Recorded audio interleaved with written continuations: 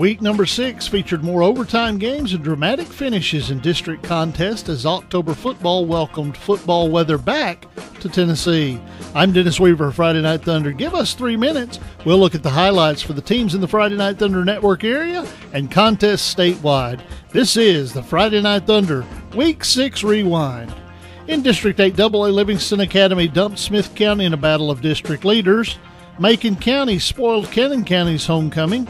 York spanked Upperman, and DeKalb County fell in a non district game at Trousdale County.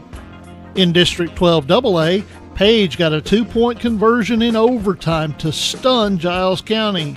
Marshall County pummeled Cascade, and CPA leveled Spring Hill.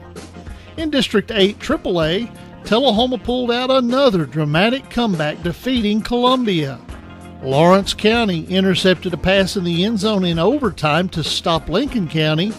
Shelbyville turned back Franklin County, and Coffee County enjoyed a bye this week.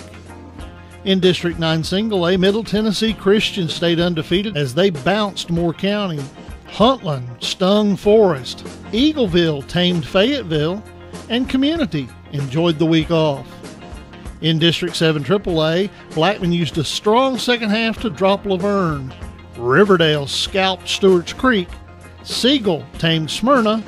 And Oakland enjoyed the week off. Elsewhere in Middle Tennessee, Ensworth got an overtime win over MBA on Thursday night. Ravenwood blanked Centennial.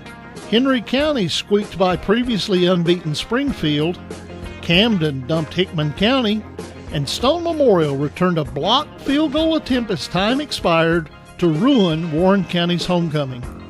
In East Tennessee, McCallie got their third straight win over an undefeated team as they defeated Baylor. Notre Dame crushed Signal Mountain. Oak Ridge stopped Campbell County. McMinn County stunned Soddy Daisy. And Grundy County got a comeback win over Chattanooga Christian. In West Tennessee, Adamsville completely destroyed Middleton. McKenzie squeaked by Bruceton Central. Milan defeated South Gibson.